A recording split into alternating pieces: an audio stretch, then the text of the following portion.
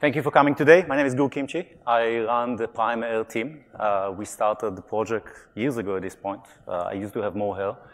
Uh, no, it's actually, I, I, you know, I've been losing my hair for years.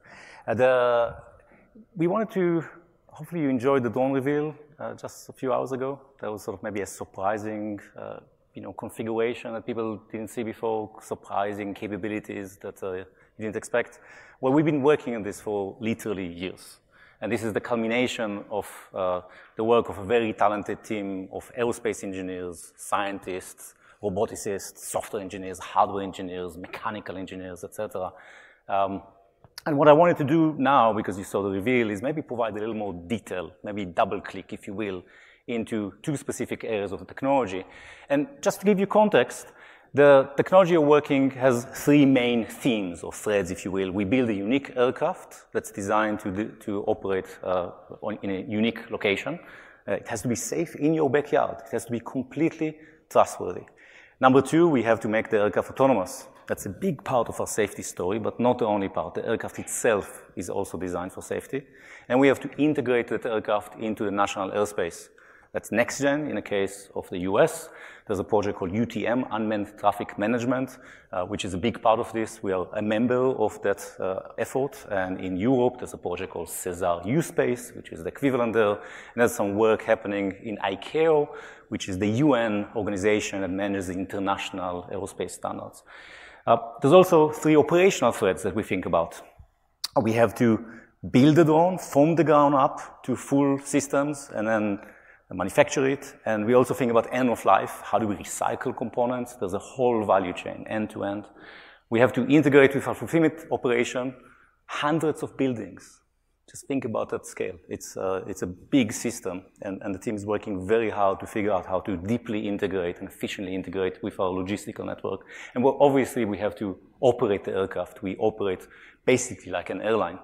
Um, and we have to maintain continued airworthiness. This is a key regulatory term that says that not only are you safe to begin operations, you are safe every single minute you are in the air. Okay, however, I'm only going to talk about the two black ones, and I'll leave some other things for the future, maybe more reveals uh, in future months and maybe next year. I would note that although these three areas are called operational threads, there's a huge amount of engineering happening there. And this is maybe a shout out. We are hiring. Mm, okay. Uh, let's start with the concept of operation. Uh, this is sort of an aerospace term. You don't actually start with the requirements. The requirements are derived from the operation that you'd like to perform. And they're called the CONOPS, short for concept of operation. So here's like, a cartoonish version of this. The drone will take off. I mean, we love the old drone, so we put it there. Uh, uh, the drone will take off from the fulfillment center, will climb to altitude, will transition into forward mode, basically aeroplane mode. Uh, transit towards destination, and now the, one of the tasks that are paramount to design drone, uh, you know, is obvious. You can only proceed in a mission if the airspace is free of obstacles. Some of these obstacles talk to you, like other airplanes, ADS-B, TCAS, other technologies. Some of these obstacles don't. A bird doesn't talk to you, right? You still have to look at the world and make the right safe decision. So we have en route, uh, sense and avoid. And I'll provide some details on how that works. We reach the destination, we transition back to vertical mode, we descend, after we detect where the delivery area is. This is important because you may get deliveries, but your neighbor may also get deliveries. GPS coordinates just aren't precise enough to tell the difference. So we have a set of technologies that can differentiate very precisely and very accurately between your backyards or front yard, wherever you're getting your deliveries, and your neighbor. As we descend, we look at the backyard, we look at the immediate area. This is not like a mapping project, it's just in that focus area where we're about to deliver and we make a survey. We understand the structure, the 3D geometry of that backyard. And we make sure that we understand it well enough that if anything changes as we proceed, we know to abort. We have a special treatment for people and animals. We like them. We like to stay away from them. And there's a whole set of algorithms who are just specialized at finding them and staying as far away as possible. Um, and finally, if everything worked, there you get your package. Now, as a customer, you're now happy, all good. We now have to do everything in reverse. That's our problem. Not your concern. So I'll start with the first theme of this presentation, which is a unique aircraft for a unique mission. Uh, to design an aircraft system, I'll, I'll, just throw the alphabet soup of things that we have to deal with. This is sort of the shock and awe moment. You want to play in aerospace, this is what you have to become an expert in. Each one of them is an entire discipline. And we spoke about the concept of preparation up on the point. And I'll provide some examples of what we're doing in some of these domains. I'm not going to dig, dig into all of them. Um, but uh, you know, that just gives you a sense of the complexity of building uh, such a system. Uh, we think about designs as coming in three prototypical categories. There's an informal design. You pick components, you put them together, you test them as a black box. They work or they don't work. That's fine. People have been building uh, robots and airplanes like this for many, many years. Uh, there is a limit to how much efficiency you get out of such a design, and it's very hard to know how it will fail. What are the failure modes that are embedded in that black box? So then there are formal designs. Formal designs try to take every component that was tested and certified and audited and continued to be evaluated all the time. You have supply chain compliance and manufacturing compliance and requirement compliance and flight tests and test data compliance. And everything has to work perfectly together. But you're still picking components that have been designed by themselves. And finally, there are co-optimized designs, where every part of the system, from the raw materials to the bolts, to the carbon fiber, to the aluminum structures, to the software, to the hardware, to the sensors, have been co-designed to perfectly fit each other. And that's what we've done. This design is co-optimized and co-designed. Every part of the aircraft is designed to fit perfectly with every other part of the aircraft. The autopilot is custom. The INS system, inertial navigation system, is custom. The propellers are custom. They both have to provide the right performance and the right noise acceptability, etc. And that control that we have over technology end to end means that we can control the quality and therefore the safety of our system. So the latest design, you've seen it. I'll show the video again and again if you didn't have a chance to look at it again. Uh, I just love how that aircraft flies. It's so fluid, it's so smooth. Uh, it's a hybrid design. It's efficient and fast, incredibly robust in gusty conditions. That's one of the biggest issues with multicopters. They just aren't that good in wind. This design is solving that completely. It seamlessly transitions between vertical mode, wing-borne mode, so forward flight, aeroplane mode, and back to vertical mode. That turns out, turns out to be a hard problem. That's been, you know, people have been working on this. NASA, if you look at YouTube, at all archives, for 50, 60 years. You look for hybrid designs. And we think we have a unique configuration that just seamlessly transitions. It's completely no effort, no drama. And it has this unique six degrees of freedom control capability that allows it to move in any direction. I'll, I'll, I'll, maybe use my hand as an example, right? So how many people here have flown a drone before, seen a drone fly? Most of you, okay. So let's say I have the drone hovering in the air, okay, and I want it to translate, move from A to B over here. I'll have to move it a little bit, increase the thrust, right? Now the thrust vector is pointing that direction. Now it's going to push to the right. Now I have to slow down. So I have to point it in other direction. Now the thrust vector is over there and stabilize. So you end up doing this little thing. Okay? That's a four degree of freedom, freedom maneuver. If you have six degree of freedom, the drone will just go because it can push in any direction. Now, a four degree of freedom drone, if it gets pushed by the wind, will do this, but it can push in another direction. So it'll have to do this to fight it. A six degree freedom drone gets pushed by the wing, will just push back and just sit there.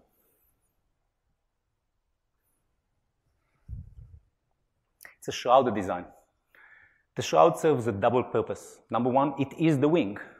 And as we've been building dozens of drones uh, over the last years, uh, we realized the shrouded design is much better than not shrouded design. I'll provide maybe some visuals to, to, to make this clear. Uh, but we also knew that we want wings because we want to be efficient. Now, wouldn't it be perfect if the wings are the shroud and the shroud are the wings? That's sort of the best case scenario. And we managed to find that perfect combination, and that is this aircraft. There are no moving parts other than the motors and the propellers. They just, and all, the only thing we control is the RPM, the speed, and the control surfaces, which are conventional aircraft control surfaces. It's the minimal number of moving parts that you can have. Less things that move, less things to break, simpler design, more reliable design. Often we think about redundancies of systems. Have multiple things, but then how do you handle all the failures? Sometimes the simpler design is the more robust design. This is what we think is the case here. Okay, that's actually what it looks like. Our, our, our mechanical engineers gave me a nice little animation. Can think about the thing rotating. Um, and one of the first observation is that, oh, that wing, that shroud makes it look big. And that's true, it doesn't make it look big, right? So I asked them to, you know, take the wing off. And this is actually what it looks like without the wing. And, you know, we, I, I, have a little trick that I do in a lab where I take tape measure and I measure the distance from one motor hub to the other motor hub. And then I'll go to like a commercial camera drone, one of these things that can carry a big camera that Hollywood loves to use, amazing machines. And I measure and it's about an inch, like almost the same. Now, we do have that big body in the middle because it carries a big package. This doesn't carry a camera. I mean, it does carry sensors to remain safe. But the main job of this drone is to carry a big box, an actually pretty big box, okay? So the entire drone is built around the box, which is why the body looks boxy. So I had to. Now, of course, this doesn't have the advantages of flying efficiently at high speeds.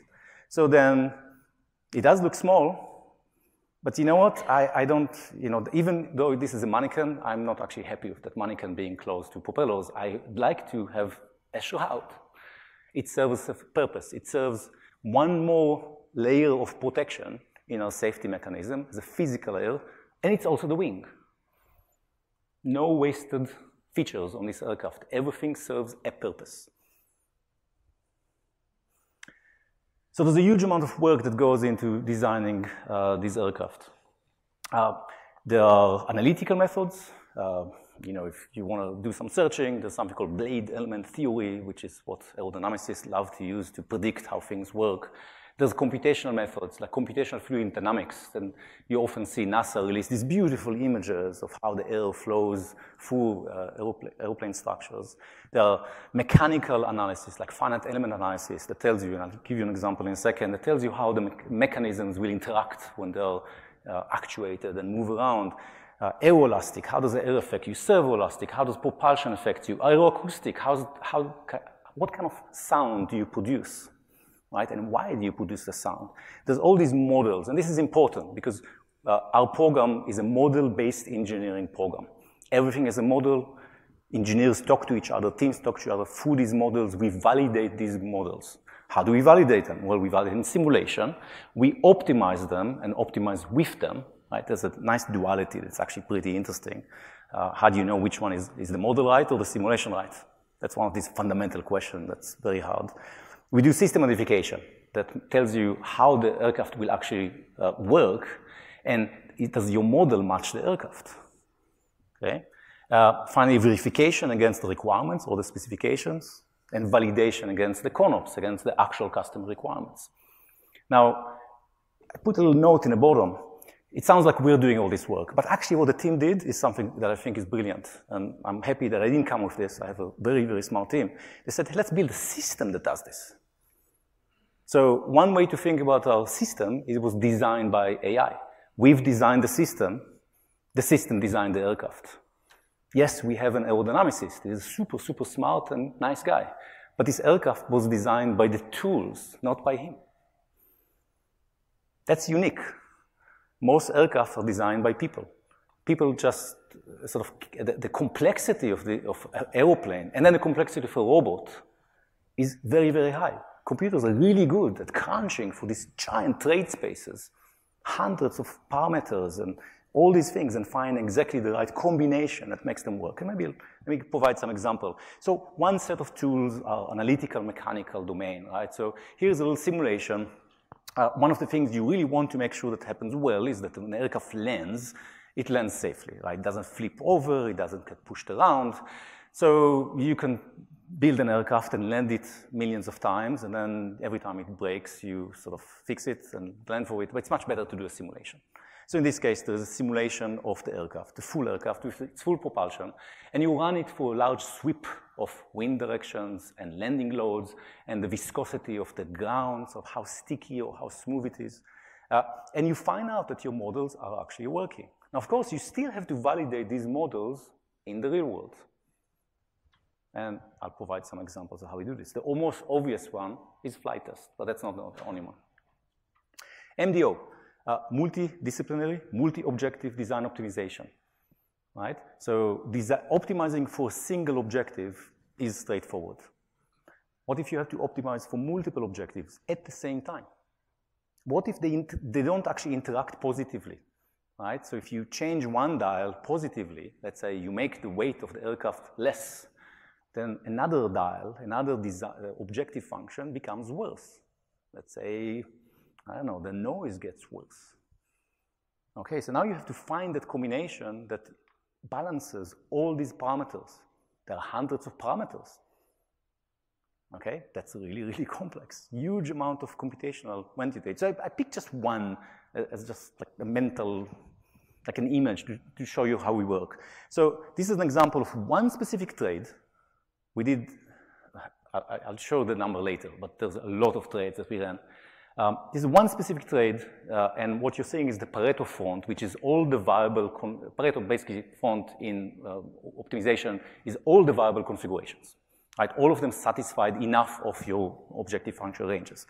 Uh, and this compares size versus sound annoyance, how annoying the sign is, versus mass. And yes, sound annoyance is an actual objective function of our design toolchain, right? We only select from configurations that are less annoying. So if you look at it, there's some configuration that are sort of really sort of massy, they're heavy, and they, they're sort of, maybe they're less annoying, but uh, sort of like this one, yeah, we don't like this one. But sort of these two, right, they're promising, right? they're, they're, sort of interesting. The, the, like, the data speaks to you in an interesting way, and then now you can choose to go and drill in, double click again, if you will, and try to run deeper and deeper analysis. Eventually, you say, you know, this is promising. Let's build a prototype and actually see how it works. And that's how the design uh, chain, uh, tool chain works. And there are all these sort of uh, uh, trade interpretation tools that the team have built that allows you to understand exactly why a certain, how does one objective function interact with a different objective function? What's actually happening? Un unpacking the black box. Why did the algorithm say that something is better and something is worse? And often what you find is that the algorithm is wrong, right? Because it's not calibrated with the real world. So you go and use some other, you collect data in the real world and you calibrate the algorithm with empirical data and you rinse, repeat, and eventually you trust your models. Computational method. Uh, we do a lot of computational methods. Um, the, the, state of the art here really improved in the last, I would say, literally two, three years. There are things that we can do today uh, that will predict the performance and the stability of an aircraft that we, I, I don't think were possible even five years ago. Um, here's one example. This is a propeller that begins to actuate. And you can sort of see how it's pushing air, the initial push of air, um, what you're seeing, sort of the, the velocity of the air. Right? You can see the little sort of thing falling off it. Uh, and then sort of as it's churning through its flow, it's now behaving very differently. So the initial low advance ratio, the, it's, working in clean air, it works one way. And then suddenly it starts to work as this churn air, and it works very differently. And the point is not to produce beautiful graphics, although these graphics, I'm sure a lot of you have seen them before, and they're really pretty. Uh, the point is that it allows us to understand very deeply the physical phenomena that we have to manage, either to optimize or to control. And you can do it at an incredibly high scale and incredibly high fidelity, which you just can't do by, with physical measurements. There's not enough hours in, in the year. Uh, and we, this extends to the entire aircraft. So here's a, another example of the aircraft going through an inbound transition. And you can see how every surface is interacting, how the outside air ahead of the aircraft is you know, basically undisturbed, behind the aircraft is disturbed, how all the flows are sort of connecting. You can see some of these flows. If you look at this pop, you can see suddenly the flows are going sort of from behind and back in. This is critical data that your control algorithms are going to need to know how to manage the aircraft at any time. Because this aircraft is designed to be efficient the, the, all the, the controllability that we have, the, the beautiful way it flies, so fluid, is not because of brute force, it's because of nuance. It's because of understanding the physics behind the aircraft you know, in a great, great level. System modification uh, and margin. This is sort of a big, uh, how well does your does, does your control model matches reality? And do you know how much margin you have? Which, in other words, do you know how much wind gust to operate, how fast or how slow, et cetera, et cetera, right? What are the bounding performance conditions of your system? And I chose just one graph examples of this, uh, and maybe sort of point, look at the bottom right uh, as the example, and you see a lot of these lines. And actually, what you're seeing is the aircraft taking off, transitioning to forward flight, landing, taking off again, transition for flight, going back home. This is one, what we call an AB mission, a, ABA mission. You go from A, you fly to B, you go back to A. But you see there's a lot of lines there. Each of these lines represent one simulation, one whole simulation running the actual control software through the, fake mission, through a, sim, a, a physical simulation engine. And in each of these distinct simulations, you perturb the model. You change the velocities, you change the wind direction, you change all kind of parameters. It's a parameter sweep, if you will. Um, and the interesting thing in this specific report is that all these traje trajectories, they may move around a little bit, but they all result in the aircraft going from A to B and successfully going back from B to A. There are no divergences. We get to test the margins of the aircraft and performance of the control so software well before we ever flight. And of course, then flight test is important, but the purpose of flight test is to tell you that the world has agreed with everything you've said so far. And I think one, one thing that it was really helpful for us is that we decided that we're going to do this at scale. Um, and again, I, I, would say flight test is great. It's really important to know that what you're building actually works in the real world. And it's very, gives you high precision data right? It's, it's very, it's correct. You know it's correct because the world either agrees with you or did not agree with you. But it's not scalable and it's not robust because you can test a lot of scenarios. So there's a combination of analytical and computational method that gives you scale and empirical methods that tell you that you're not lying to yourself. So we evaluated before getting to that design the new aircraft, we evaluated 50,000 configurations. We'll have time for questions in the end. Uh, thank you. We ran over 30 million hours of CFD, and one of the things we discovered, which you know was funny, is that you could use AWS as a giant supercomputer. So can you? It's just AWS, uh, and it's also, it, was uh, you know the team initially was like, well, we have to get all these computers. Like AWS is a supercomputer. It's like, oh yeah, it is right? And they start to use AWS. And guess what? You can, you can rent a supercomputer for a few hours, test a giant, giant work, and then give it back to the, to the cloud for the next, next customer. And that, that was, that up being great. Um, we had millions of what we call full simulations. They actually are, the tool is called full sim for full simulations, where everything is, uh, the, the world is virtual. You can think about it as a little game world. Uh, but everything is correct in terms of the software that's running and the control software interaction with the world and the sensors. And I'll show you some examples later of that.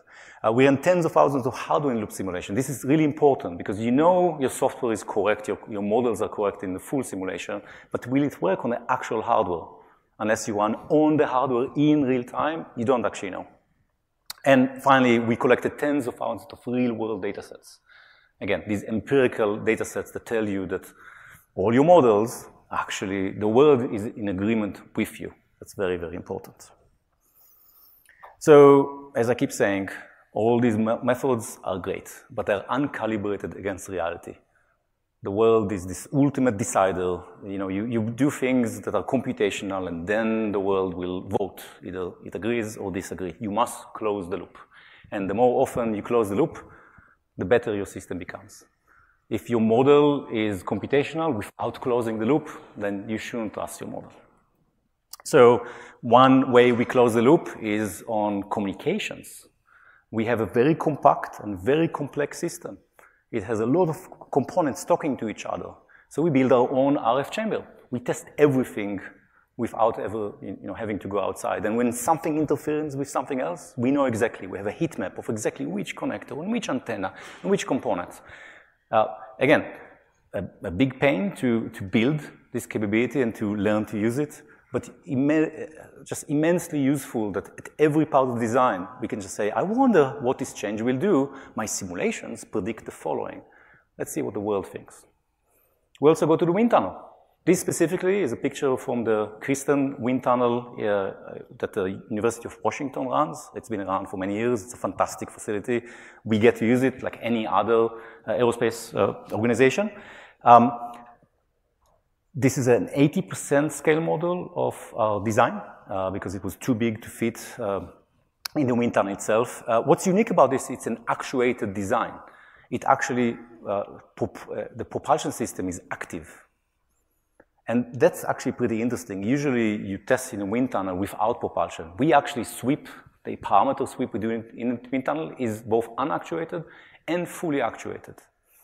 Okay, other thing is that aircraft starts in vertical mode and then does this rotation. Again, we, it's just software. There's nothing like actually rotating other than aircraft itself. And it flies and rotates back. So wind tunnels have this thing called a sting. It's down here generally. You notice the sting is missing because the sting doesn't support a hybrid aircraft because people just don't build hybrid aircraft. They're complex. Uh, so we had to build our own sting. It turns out for our rotation, we had to put the sting on the side. Uh, so that was a pretty interesting investment. Uh, you know, stings and wind tunnels are calibrated over years. It, it was a sort of a fascinating, fascinating project. Uh, one of the questions we get offered is about noise. And usually when you talk about noise, you talk about the power of the noise, right? How loud is it? What's the noise level? Uh, generally called SPL. There's also a dBA model, which is sort of the A-weighted uh, decibels, which is how a human perception system perceives the sound. Um, it's important, but is it the right metric? And we have a mental model around this. Uh, this is an aeroacoustics sort of domain. Uh, number one, you have to make the aircraft safe. There are certain, uh, albeit industrial noise levels. Uh, for example, OSHA will say that people cannot be exposed to more than 85 dBAs for more than eight hours. Any more than that, more exposure or more level is un unsafe. So you have to be safe. Now that's an industrial standard. It may not apply, may not, not, not apply here, but we know there are a lot of standards there and we have to comply with them. There, is no way that anything that the drone will produce will ever be dangerous. We make self drones, including the sound. Number two is you have to make it more and more and more and more acceptable. And this is part of our design chain. That's really where the, the magic sauce is. And maybe I'll do a specific example. So we'll do a test. I'll play two sounds, and you tell me which one bothers you more. Okay? Ready? Yeah? Okay.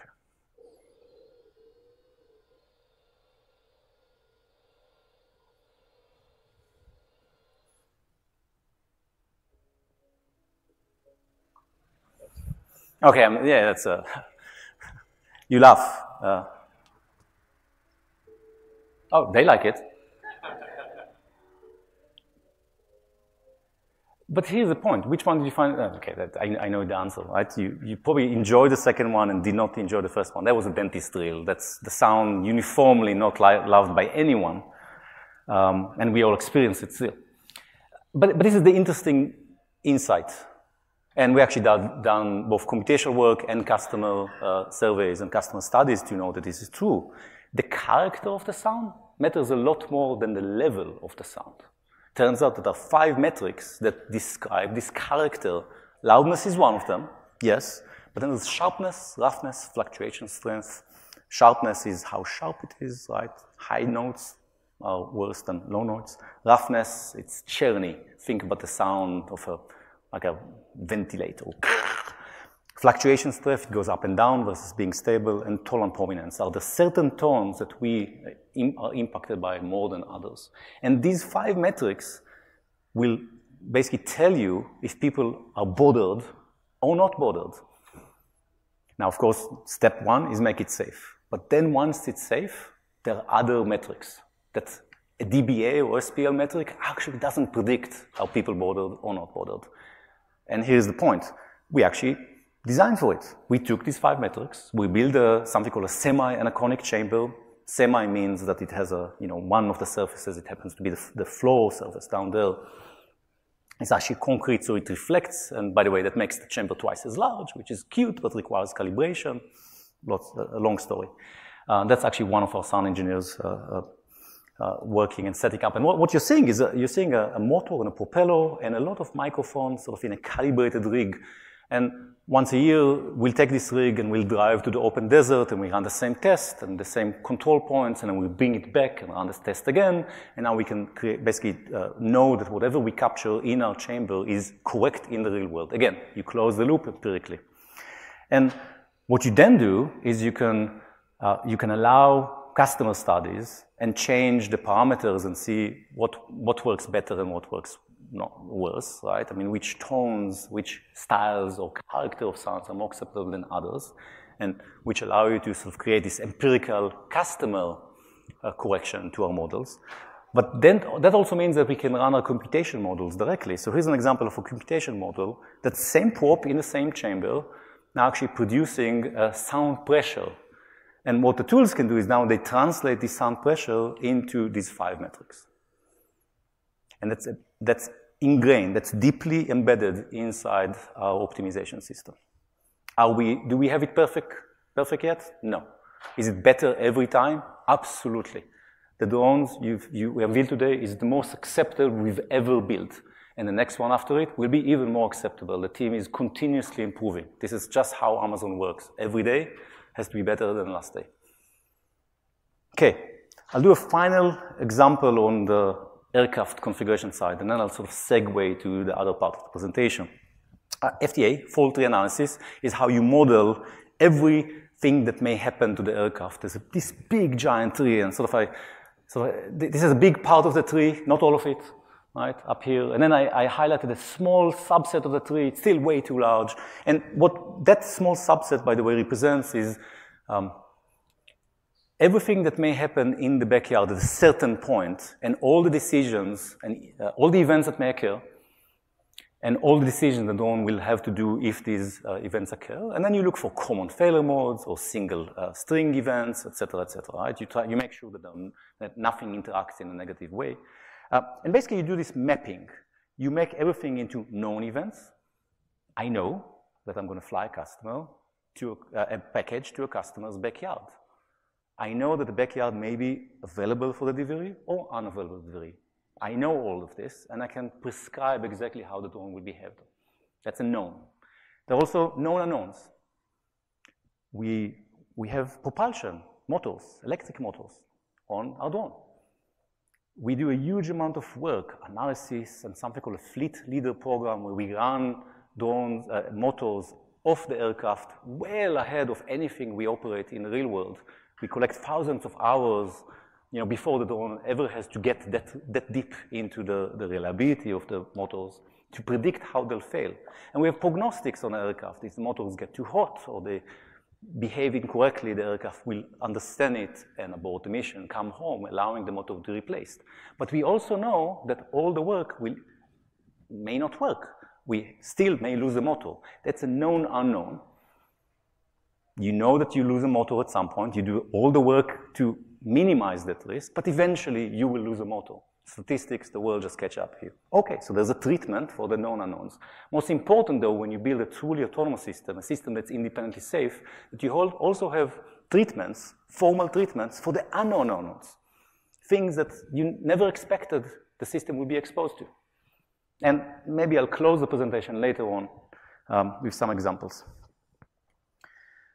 Okay, so number one was the aircraft. Other part is the aircraft has to be independently safe. Okay, we generally consider three classes of drones. You heard Jeff Wilke talk about it, so I'll run through it. Remotely piloted drones, autonomous but blind drones, and then our drone. All the safety features on aircraft. The sensing and algorithmic uh, approach is diverse. Multiple sensors working in different physical way ways, and then multiple algorithms working in different computational ways working in parallel. And we like to think about it as, as more like a horse and less like a car. So do you drive a car? Ever drove a car? Ever drove in a car? If I sit in a car and I accelerate towards a wall, the car will listen to me and hit the wall. Anyone here ever rode a horse? Few people? Excellent. If you rode that horse towards a wall, what will the horse do? Throw you off. The horse is independently safe. That's what we'd like our drones to be.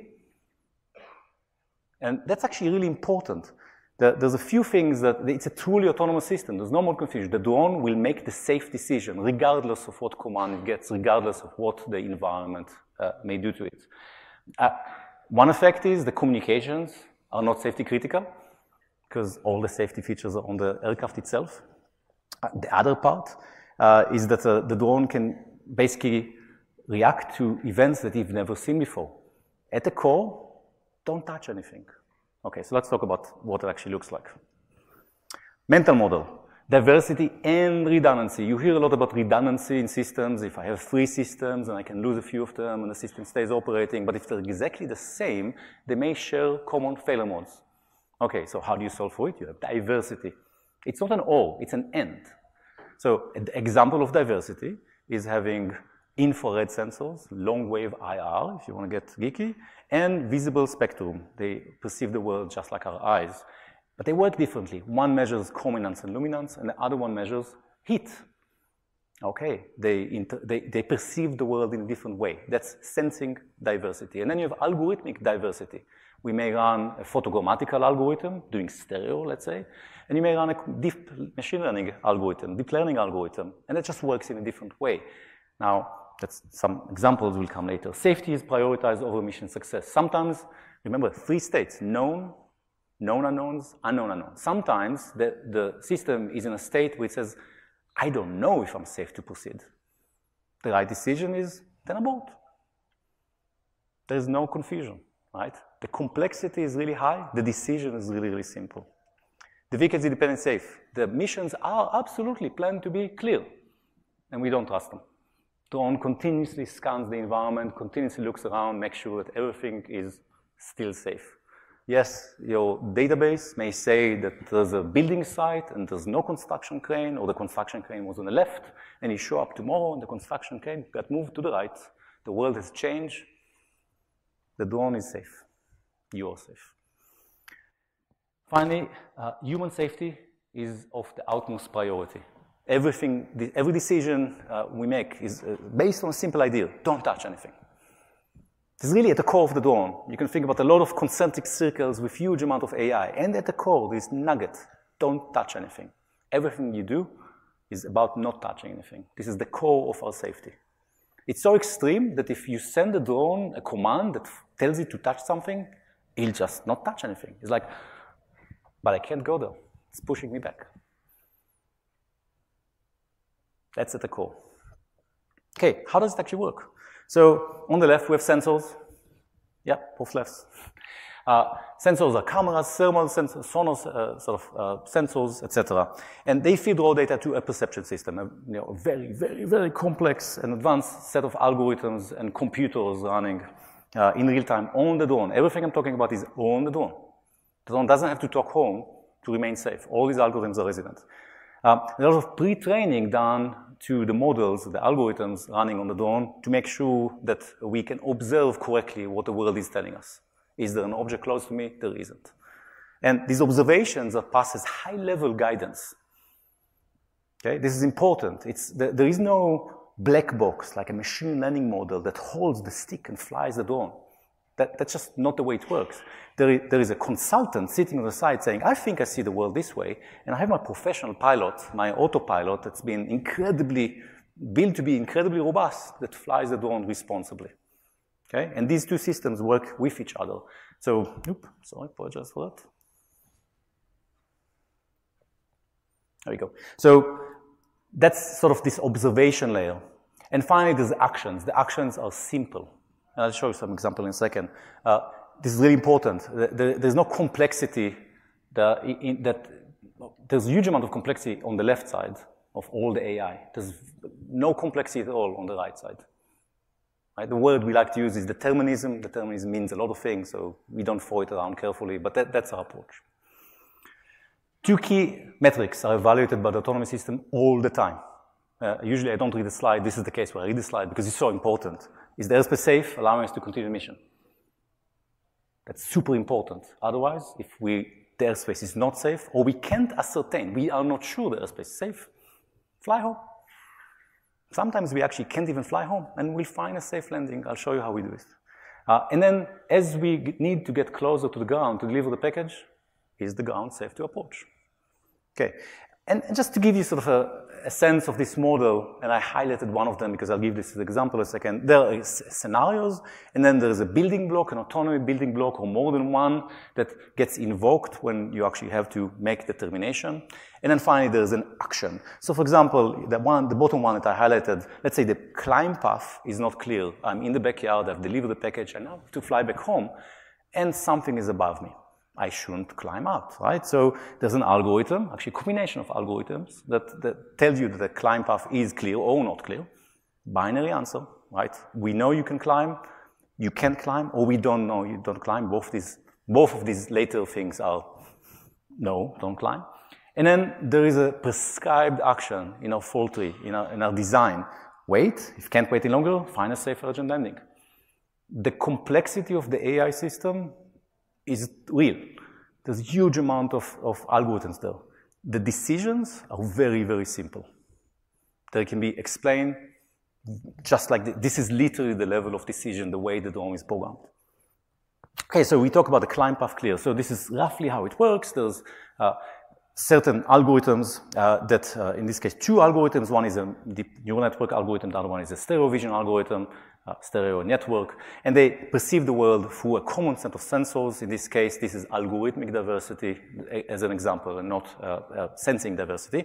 And their job is to look up as the drone is about to descend and make sure that the sky is clear. There's a path to climb. So here's an example of uh, the network version algorithm looking at a flock of birds. That may happen in the world. We'd like to know that we can actually, if I had to actually go, where would I go? Okay? This algorithm works completely real time. Okay, here's another example. Um, I think that's a ski helmet looking up, right? Uh, the, and, and you're trying to see sort of uh, uh, where, if you were to climb, what is the safe cell to climb out of that location? Again, these algorithms are working in real time. And here's maybe an example of two algorithms working parallel.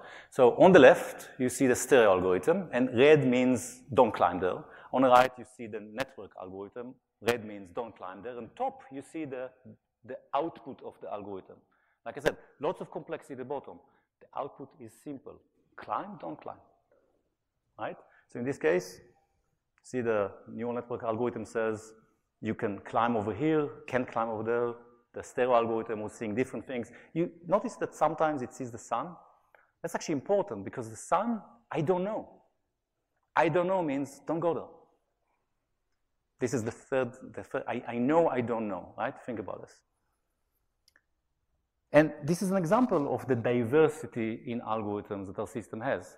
So this is important. Both these algorithms, and again, I'm, I'm giving you like a, just one example of the way the system works. I'll, I'll, do a few more. Uh, in both these algorithms have to say go, proceed for the aircraft to actually proceed. Everything on the, uh, on the system has to keep saying, we think, we know it's safe to go. If anyone says, I don't know, I'm not sure, the system goes into a prescribed safe behavior. You've seen the mid-air collision alert. Okay, the, this is another one that Jeff Wilke didn't, didn't, show. So there is an aeroplane approaching us. Can you see it? First person to see it, please say.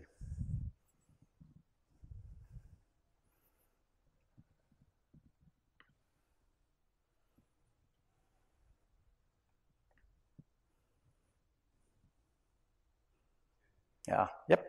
Okay, here's the algorithm. Now you know, it, you know where it's coming from. Can you see it?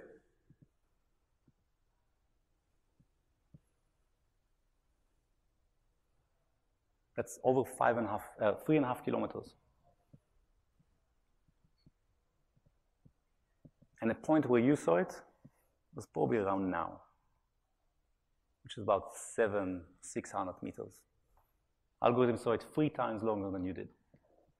Computers are really good at this. They don't get bored, they stir, they know what to look for. They're great at doing these boring but critical jobs. You also have to react to ground objects. Remember the crane? Well, the crane may be moved. Uh, you know, you just can't trust that your maps are correct. So here's an example. Uh, this is a simulation. By the way, we test these algorithms both in simulation and in real-world data. It's important. gives you both scale and fidelity. Uh, and there is this big uh, sort of stuck. So we would like to detect it, and here is the algorithm detecting it. Now, here's the key point with these algorithms. They don't require prior knowledge. Nobody told the algorithm to look for that object over there. It says, nobody told me, I'm still looking, there's an object, I should fly away. Don't touch anything. This is the fundamental feature. Here's what, what you're actually seeing now is the uh, sensors around the aircraft uh, looking as the aircraft is descending. And what you're seeing is not the actual aircraft flying, it's the brain of the drone hang, hang under a commercial camera drone and flown uh, in an open loop way. Uh, so we operate a lot of different systems for tests, and in many cases we'll fly these open loop data collection missions. And it's, you know, you look at it like a camera, so we just get a nice camera drone. And you see how you get closer to the ground, different things get closer. Uh, one example is you can see that certain things here are dangerously close, and this one was actually too close. The drone would have aborted delivery if it was that close. In other words, it will be pushed away from that, uh, that feature. Uh, here's another example, and this is a different algorithm. This is a neural network or deep, deep neural network algorithm, and it's trying to find a person. Here's another person. Uh, you know, uh, yeah, people do like to sit, you know, lie in the sun and relax, and you know, we, we want to make sure that they can do it, and the drone will stay away. Here's a more extreme example of uh, someone who's moving around. Uh, in this case, uh, that circle is the circle that we uh, we observe, and you'll see at some point the, as the person is moving in that the circle will turn red oop, the backyard just became uneligible for delivery. The person will leave it, okay, it became eligible again. Here's an example uh, of football with a, with a child, actually girl of someone in the room. She's, she's a star. And uh, algorithm detects it correctly. But uh, let me switch and show you exactly the same scene now in long wave IR. So this is a different algorithm also deep neural network, that now operates and detects the, the person in long wave IR. Turns out that just doing computer vision on IR imagery is not that straightforward, requires a lot of invention. Uh, sometimes you have to find a safe landing location. There's no choice. FAA tells you, please clear the air because we decided you clear the air. Uh, local uh, medical department may say, we have to dispatch a medical evacuation helicopter in your airspace. Please give us the next three minutes as we do what we have to do. We, our job is to get out of everyone's way. Uh, and the aircraft is always, based on what it's perceiving around it, ready to make the decision. Let me show an example. So what you're looking for is that little green circle. The green circle is basically what the aircraft says, given what I'm seeing right now, where would I go if I'm told to land now? and call this uh, unimaginably land safely now. Uh, uh, and you notice where the aircraft decided to go. It's actually pretty interesting because it's on the sidewalk, but you know, not on the street. And here's another one. I actually especially like this one because you notice there are people and then there's a fence and the algorithm picked the, the, the point outside the fence. I like that a lot. That's, that's, that's, a really smart decision. Now, of course, it's based on what the drone can see. It's not going to go where it can see because it doesn't know. It may be safe, maybe unsafe. If I don't know, I'm going to assume that it's not safe and not good. Here's another example. I like it. Look for the little green circle. Uh, it chose to go on that sort of close to the water on the dock, which is actually the right decision. Uh, but if you notice those few, few blue dots sort of hunting the water, and that's because the drone is still evaluating, says, you know, if I have to actually ditch, I may ditch in the water. That's, if that's the only safe thing I can do, that's the only safe thing I'll do. Okay, vision-aided navigation. GPS is fantastic. You all use it every day. It's on your phone. Sometimes it doesn't work. You get close to structures, the weather changes it. Um, there are now, uh, you know, people can manipulate it, right, with software-defined radios. So we want to be very robust to GPS um, outages. Uh, here's a visual SLAM algorithm. In this specific case, uh, you know, you're seeing a takeoff, vertical takeoff, then a transition. And because the, the sensors are oriented in sort of strange way on the aircraft, you'll see it from the side. Aircraft is flying. Again, this is an A, B flight. And what you saw was the outbound transition and how the aircraft uh, is tracking, the VSLAM algorithm is tracking its location purely visual information. And you can see sort of trajectory of the aircraft being recorded over here. Uh, so at any given moment the GPS signal degrades, we still know where we are. We can still navigate. We can still get home, right? Here's the inbound transition, etc. Let's close with one of our mentor models. Uh, this is maybe a takeaway uh, for the session. It's, a, it's not a new insight if you're doing machine learning, uh, but if you're new to AI and machine learning, this, this may be an important one. So the world is the ultimate random event generator. It's always going to surprise you. And our job, building an autonomous system, is to make sure that the drone will make the right, responsible, safe action when faced with a completely new event. And you know, you know about the black swan, Taleb, right? All credit goes to him. And black swans happen. And you need to make sure that the, your system, our system in our case, we need to make sure that they make the right decision. Uh, but what if the world is more, more sort of mischievous, if you will, right? It keeps creating these exactly once events, events that happen once but never repeat, and they keep happening again and again. What do you do then? What if your world looks like this? Can your system handle it? So that was sort of our mental model. This is the kind of system we set out to build. And the basic concept is zero-day testing. As an example, we have two metrics that guide a lot of autonomy work. We call them alpha and beta originally. Alpha is the chance of mission proceeding when it's unsafe to proceed, right? The autonomous system incorrectly misidentified something and decided to recommend that we fly forward. And beta is the chance of mission aborting when it was actually completely fine to proceed. Our job or the job of the autonomy team in PrimeAir is to make alpha incredibly small, incredibly, incredibly, incredibly, incredibly small, in exchange, making beta small enough. Once in a while, we will abort the delivery and fly home unnecessarily. That's okay, because the chance of actually making the alpha mistake is very, very, very low. How do you do it? How do you know it actually works in the real world? Okay? So you collect a lot of data, simulated data, synthetic data, real data. So simulated data can be an example. Here's a little simulation. The drone is flying down. There's a dog. Can you see the little dog? You simulate the world. The drone goes, oh, there's a dog there. I'm not going to descend anymore, and I'm going to fly away. Okay, this is a simulation. You know it works. And you collect a lot of data like that.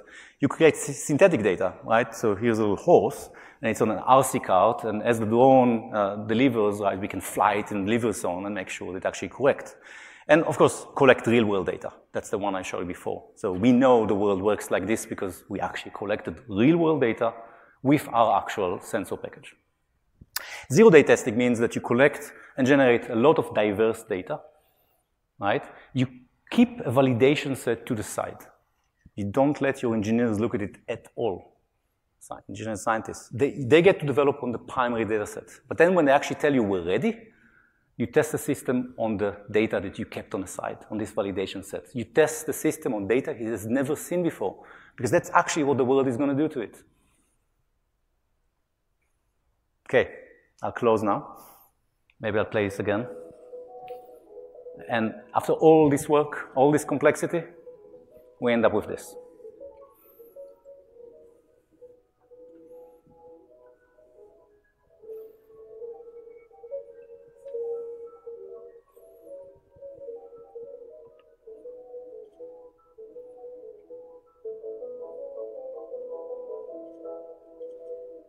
We had a lot of people ask us if, if, this is an animation because it's so smooth. So we put this actual autonomous flight footage on the left.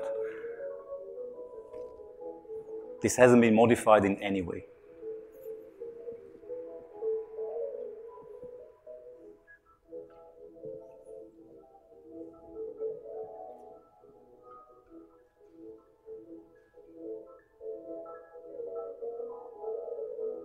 That inbound transition is like Every time the aircraft does it, it's so smooth.